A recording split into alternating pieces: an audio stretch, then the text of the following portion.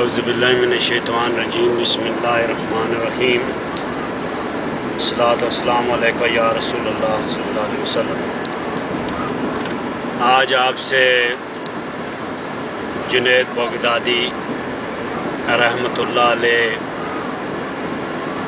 उनका एक वाक़ शेयर करना चाहता हूँ। आज के दौर में जिस नफसी नफसी का नफसा नफसी का दौर है और वली अल्लाह की पहचान करना आज के दौर में अंतहाई मुश्किल कर दिया गया है कि लोगों ने उनके ख़िलाफ़ किताबें लिखी, टीवी पे आके उनके ख़िलाफ़ बातें और उनकी गुस्ताखियाँ की और इंटरनेट का दौर है। जैसे आपको पता है कि हर एक बंदा अपने व्यूज़ अपने बयान करता है, लेकिन ये नहीं देखता कि उससे अल्लाह और उसके रसूल नाराज़ होते हैं। वली अल्लाह का ज़िक्र, जैसा कि सबको पता है कि कुरान में ज़िक्र है कि अल्लाह कहता है कि मेरे दोस्त हैं वली, और जो लोग उनको तकलीफ़ पहुँचाएँगे, वो मुझे तकलीफ़ पहुँचाएँगे, क्योंकि वो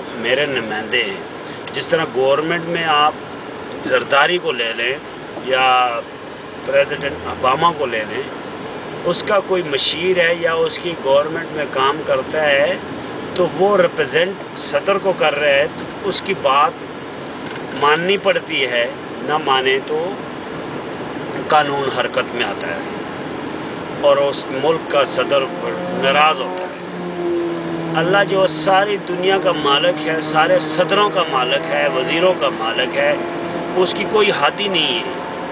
और उसके जो नुमाइंदे हैं भेजे हैं इस दुनिया में हमारी रहनुमाई के लिए, वो नबी हैं। जब नबी नहीं होते, फिर वह अल्लाह के वली होते हैं। लेकिन हम लोगों ने नबियों के बाद वलियों के साथ ये सलूक किया है कि अगर कोई बंदा गलत काम कर रहा है, एक अपने आप को वली अल्लाह कहता है, उनको बदनाम करने के सिलसिले में तो हम सारे वली अल्लाह को बुरा वल्ला कहते हैं, जो गलत है। जिस तरह इस्लाम का कोई बंदा है, मुसलमान है तो वो अपना कोई ऐसा अमल करता है, कोई अपना गनाह करता है तो उसका गनाह सारा का सारा आप इस्लाम के खाते में डाल दें।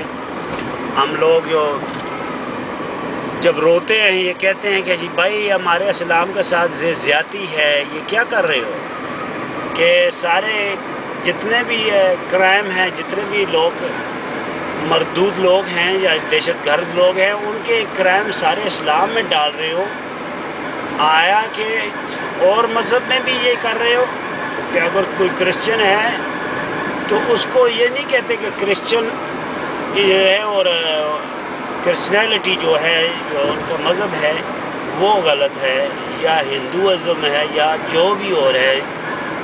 तो उसको किसी को ब्लेम नहीं करते, सिर्फ़ इस्लाम को ब्लेम कर रहे हो। ये तो ज़्यादा है इसी तरह हम खुद जो मुसलमान हैं, वो वली को एक अगर इंसान बुरा काम कर रहा है, या अपनी पूजा करवा रहा है, या ऐसा फेल कर रहे जिससे शिरक का अमकान है तो हम सारे वलियों पे डाल देते हैं। वो आया, एक एक ऐसा सिलसिला है कि एक मुल्क की तरफ़ से कि ये वली लोगों को इतना बदनाम कर दो कि हम अपनी हुकूमतें करते हैं क्योंकि वली वैद हमें ख़तरा है।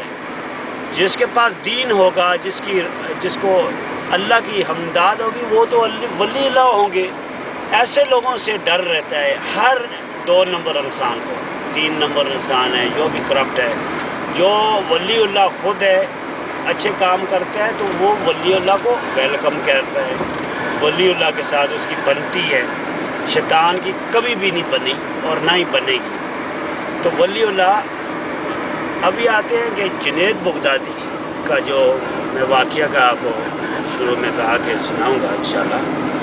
वो इस तरह के वो वली बनने से पहले वलायत उनको जब न मिली, उससे पहले वो नेकी तो करते थे, परहेजगार थे, उसमें कोई शक नहीं था कि वो वो छोटी उम्र में वो जब हज पे गए तो वो लोगों ने बड़ा उनको अजीब नज़रों से देखा कि उनकी इबादत का जो सिलसिला और इबादत जो अल्लाह से करने का हक़ है, वो छोटा बच्चा कर रहा है।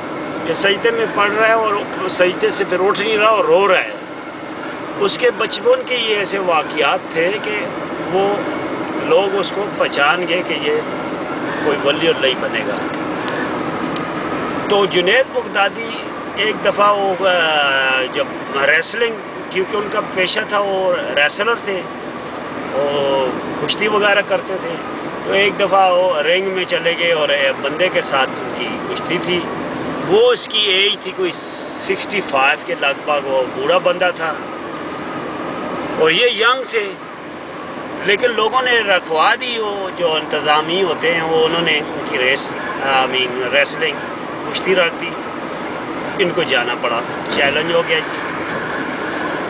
रिंग में गए तो जब वो बूढ़ा बाबा जो आया, वो उसने कहा, जुनेद, कान में उनको, कान में आके कहा कि, जुनेद, मैं हूँ आपके नबी की औलाद, के उसकी उसकी नस्ल से हूँ। और मैं, मुझे कोई रेसलिंग का शौक़ नहीं था।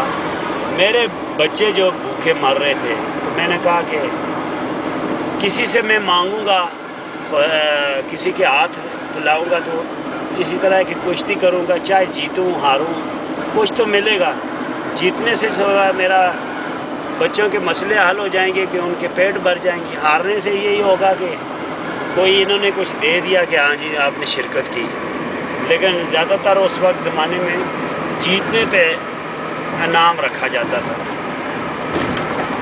तो मैं इसलिए आया हूँ क्योंकि हम, हमारे पे ज़क़़त नहीं मैं हज़रत सलम की औलाद से हूँ। उसने कहा कि हम ज़क़़त भी नहीं ले सकते और सदका ज़क़़त भी हमारे पे नहीं है। तो ये ही कोई तरीका है जो हम मेहनत मजदूरी करके कुछ अपना पेट और बच्चों का पेट पाल सके। तो तुम्हें मैं ये रिक्वेस्ट करता हूँ कि उस नबी के जानने वाले हो और उसकी औलाद हो। तो किसी तरीके से कुछ अगर तुम कर लो, मुझसे हार जाओ तो इसमें मेरा कुछ बन जाएगा।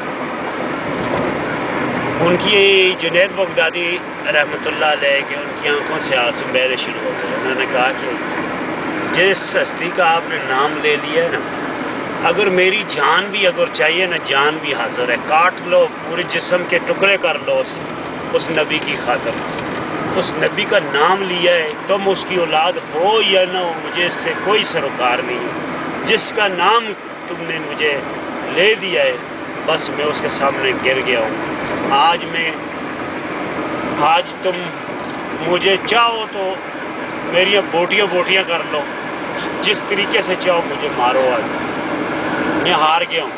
मैं अभी से आपको कहता हूँ कि मैं लिख के दे देता हूँ कि हार गया हूँ। लेकिन वो इंतज़ामिया ने कहा कि नहीं, लड़ाई तो होगी वो। आपस में इस तरह तो नहीं हो सकता।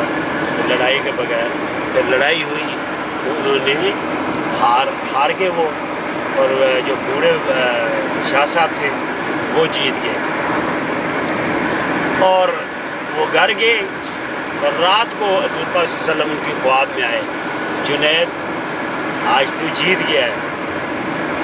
आज तुम्हें ना, इस खुशी में, मैं अल्लाह से ना, तुम्हें वलायत दिलाता हूँ।